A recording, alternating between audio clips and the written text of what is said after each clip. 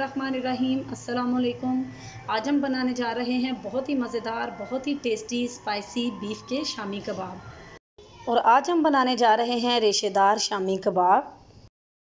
रेशेदार शामी कबाब बनाने के लिए यहाँ पर मैंने लिया है तीन पाव बीफ का गोश्त। और ये बोलनेस गोश्त है, हड्डी वाला नहीं है, इसको मैंने इस तरह से छोटी छोटी बोटियाँ कर ली हैं। अभी हम इसको बर्तन के अंदर डाल देते हैं। आप चाहें तो प्रेशर कुकर में भी बना सकते हैं। और हम यहाँ पर रेशे वाले शामी कबाब बनाने जा रहे हैं तो आप चिकन में भी बना सकते हैं, मटन में भी बना सकते हैं। तीन पाव मैंने गोश्त लिया है और एक कप मैंने ली थी चने की दाल। इसको मैंने एक घंटा पहले भगोकर रख दिया था, ये भिगी हुई दाल है तो इसको हम इसके अंदर शामिल कर देते हैं।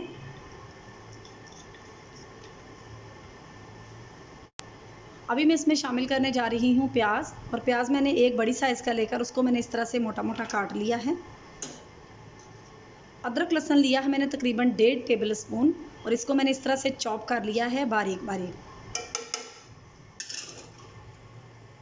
दो से तीन ये कड़वी वाली हरी मिर्चें हैं, ये हम डाल देते हैं। अभी मैं इसमें शामिल करने जा रही हूँ मसाले। तो मसालों में सबसे पहले मैं इसमें ऐड करूँगी दो टीस्पून मैंने लिया है शामी कबाब मसाला। हम इसमें ऐड करने जा रहे हैं। हाफ़ टी स्पून मैं इसमें ऐड करने जा रही हूँ गरम मसाला पाउडर। अभी मैं इसमें डालने जा रही हूँ कुटी हुई लाल मिर्चें one teaspoon half teaspoon नमक लिया है हाफ़ टी स्पून हल्दी ली है और दो टीस्पून मैंने इसमें लिया है कुटा हुआ धनिया। कुटा हुआ धनिया ले लें या पिसा हुआ धनिया ले लें, लेकिन इससे टेस्ट बहुत ही ज़बरदस्त आता है तो आप इसमें खुश्क धनिया पिसा हुआ या फिर कुटा हुआ ज़रूर ऐड करें। और नमक आप चेक करके डालें, क्योंकि हमने जो शामी कबाब मसाला लिया उसमें भी नमक होता है तो हम बाद में भी चेक करके नमक डाल सकते हैं। दूसरा, आप कोई भी स्पाइसेस इस्तेमाल करते हैं, आप अपने टेस्ट के मुताबिक डालें। अगर आप शामी कबाब मसाला डालते हैं तो आप सिर्फ़ वो भी ऐड कर सकते हैं। और अगर आपने दूसरे मसाले ऐड करने हैं, लाल मिर्चें वगैरह तो आप पिसी भी लाल मिर्चें भी ले सकते हैं, कुटी हुई भी ले सकते हैं। और कुटी हुई जो लाल मिर्चें हैं, इनसे टेस्ट बहुत अच्छा आता है तो मैंने इसलिए कुटी हुई लाल मिर्चें इसमें ऐड की हैं। तो ये हम सारे स्पाइसेस इसमें डाल रहे हैं। अभी हम इसमें डाल देंगे पानी। और पानी जो है, वो इसमें मैं शामिल करने जा रही हूँ तकरीबन एक ग्लास से थोड़ा सा ऊपर। और ये थोड़ा सा मैंने ऊपर लिया है, ये डाल देते हैं। और जितने भी हमने मसाले इसमें डाले हैं, इन सबको हम अच्छी तरह से मिक्स कर देते हैं।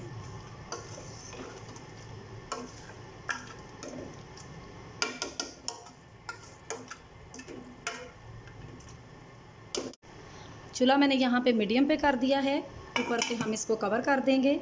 कवर कर दिया है। अभी हम तकरीबन इसको 40 से 45 मिनट तक पकने के लिए छोड़ देंगे मीडियम आँच पे। और साथ साथ हमने चेक भी करते रहना है, ताकि हमारा जो गोश्त है और दाल है, वो नीचे ना लग जाए, जल ना जाए। तो अभी हम इसको तकरीबन पैंतीस आप देख सकते हैं कि पानी जो है, वो मसाले के अंदर बहुत कम रह गया है। बिल्कुल खुश्क हो चुका है। दाल भी बहुत अच्छे से गल चुकी है और गोश्त जो है, वो भी बहुत अच्छे से गल चुका है। बस अभी मैं चूल्हा बंद कर दूँगी। ये आप देख सकते हैं कि बिल्कुल खुश्क हो चुका है। पानी बिल्कुल खुश कर देना है हमने। चूल्हा भी बंद कर देते हैं और इसको ठंडा होने के लिए छोड़ देते हैं। जब ये अच्छी तरह से ठंडा हो जाएगा, उसके बाद हम इसको मैश करेंगे। जी नाजिन आप देख सकते हैं कि शामी कबाब का मसाला जो है वो बहुत अच्छी तरह से ठंडा हो चुका है। अभी हमने इसको करना है मैश। इसको हम चॉपर में भी डालकर चॉप कर सकते हैं, लेकिन हमने इसको चॉपर में नहीं डालना क्योंकि हम रेशे वाले कबाब बना रहे हैं तो इसकी वजह से हमें चॉपर की ज़रूरत नहीं है यहाँ पर। यहाँ पर हमें ज़रूरत है, ये इस तरह का मेरे पास मैशर है। लोहे के भी मिलते हैं, वो भी अगर आपके पास हो तो वो भी आप ले सकते हैं। तो इसके साथ अभी हम इस तरह से इसको मैश करेंगे।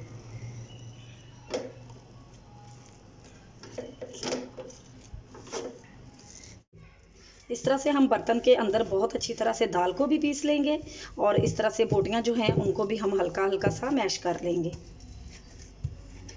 गोश्त हमारा बहुत अच्छी तरह से गल चुका है। ये आसानी से अभी इस तरह से मैश हो रहा है। अगर आपके पास लंगड़ी हो तो आप लंगड़ी के साथ भी इसको अच्छी तरह से कुंडी के अंदर डालकर अच्छी तरह से मैश कर सकते हैं। ये बहुत ही ज़बरदस्त बनते हैं रेशा कबाब। तरह से हमने दाल को भी बहुत अच्छी तरह से और जो गोश्त है उसको भी अच्छी तरह से इस तरह से हमने पीस लेना है। तो अभी सबसे पहले मैं इसको पीस लेती हूँ। उसके बाद हम आपको बताते हैं कि और जो चीज़ें हमने इसमें ऐड करनी है वो कौन सी हैं और फिर हम कबाब कैसे बनाएँगे।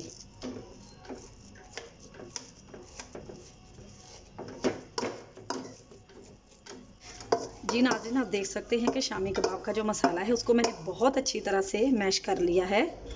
अभी हमने इसमें डालने हैं हरे मसाले। तो हरे मसालों में मैंने लिया है। एक दरमियानी साइज़ की प्याज लेके उसको इस तरह से मैंने बिल्कुल छोटा छोटा बारीक काटा है। बिल्कुल थोड़ा सा पुदीना लिया है चंद पत्तियाँ उनको बारीक काट लिया है। एक हरी मिर्ची मोटी वाली ली है, उसको मैंने बारीक काट लिया है और थोड़ा सा लिया है धनिया। ये सारी चीज़ें हम इसके अंदर डाल देंगे। और पहले हम इन चीज़ों को अच्छी तरह से मिक्स कर लेंगे। हरे मसाले जो हमने डाले हैं, इनको हम अच्छी तरह से मिक्स कर लेते हैं। क्योंकि इसके बाद हमने इसमें अंडा शामिल करना है तो अंडा जो है वो हम चेक करके डालेंगे। अगर दो अंडों की ज़रूरत होगी तो दो डालेंगे अगर एक से काम चल जाएगा तो एक ही डाल लेंगे क्योंकि अगर दो अंडे हमने इकट्ठे डाले तो हमारा जो आ, मसाला है वो नरम पड़ सकता है तो फिर कबाब जो हैं वो अच्छे नहीं बनते। तो सबसे पहले हम अच्छी तरह से ये हरे मसाले जो हैं इनको मिक्स कर लेते हैं शामी कबाब के मसाले के साथ। तो अभी हम इसमें डाल देते हैं अंडा। हम इसमें शामिल करेंगे एक अंडा और तोड़कर मैंने चेक कर लिया है। अभी हम इसको शामिल कर देते हैं इसमें और अच्छी तरह से मिक्स कर लेंगे। हम चेक करेंगे, अगर तो हमें दो अंडों की ज़रूरत होगी तो हम इसमें दो शामिल कर देंगे।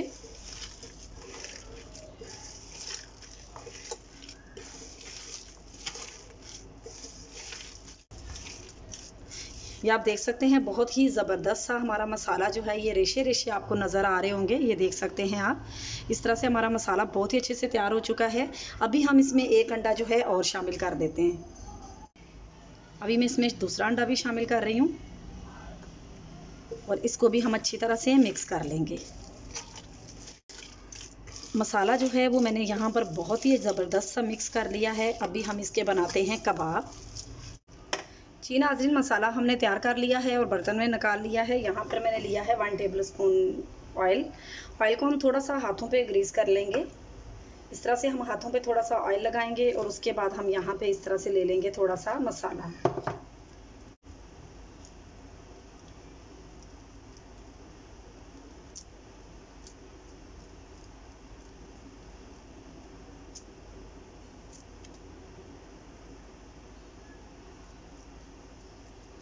जितने बड़े आपको कबाब पसंद हो, उस तरह से आप बना लें। शामी कबाब बहुत ज़्यादा बड़े भी नहीं होते और ना बहुत ज़्यादा छोटे होते हैं।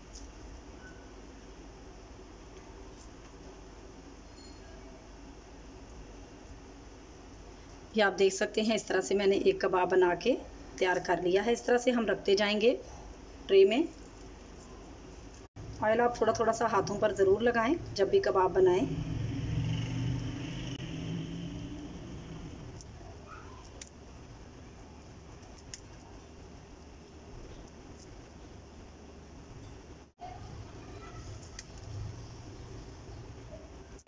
ये लें जी, ये भी हमारा कबाब तैयार हो चुका है। इसी तरह से हम सारे कबाब बनाकर तैयार कर लेंगे। आप देख सकते हैं, कबाब मैंने इस तरह से बना लिए हैं। कुछ हम कबाब जो हैं, वो अभी फ्राई करेंगे और कुछ जो हैं, इनको हम फ्रीज़ करेंगे। तो जो हमने कबाब फ्रीज़ करने हैं, उसके लिए हमें चाहिए यहाँ पर एक थैली। एक थैली लेकर उसको मैंने इस तरह से काट लिया है और काटने के बाद हम इसको, इसके ऊपर रख देंगे, इस तरह से। के रखेंगे और इसके ऊपर हम इस तरह से कबाब रखते जाएँगे। इस तरह से आप जितने जितने भी चाहें कबाब ऊपर नीचे रख के तो इजीली आप उनको फ्रीज कर सकते हैं। ये देखें जी, हमारे सारे जो कबाब हैं, वो ज़बरदस्त से तैयार हो चुके हैं।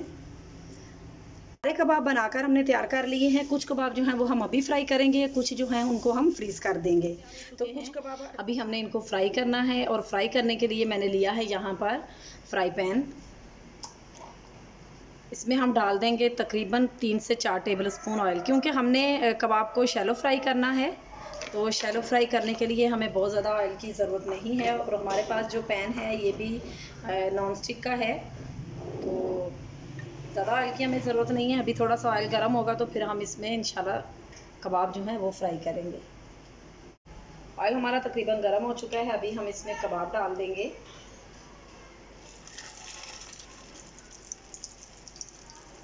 चूल्हा मैंने बहुत ज़्यादा हाई पे नहीं रखा, बस मीडियम आँच पे मैंने रखा हुआ है। और मीडियम पे ही हम इनको फ्राई करेंगे।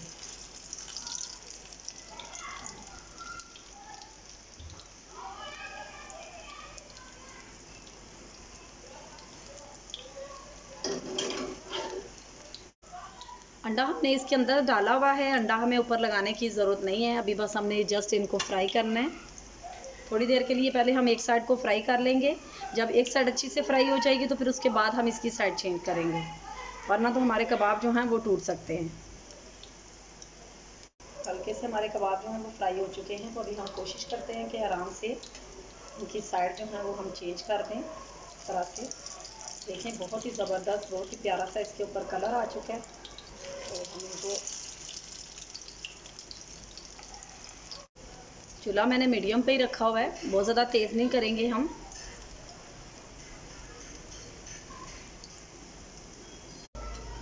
कबाब हमारे बहुत अच्छे से फ्राई हो चुके हैं। इनको हम अभी निकाल देते हैं।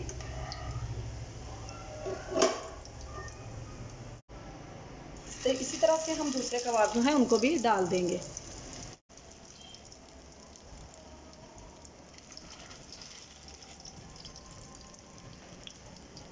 इनकी दोबारा से साइड चेंज कर देंगे।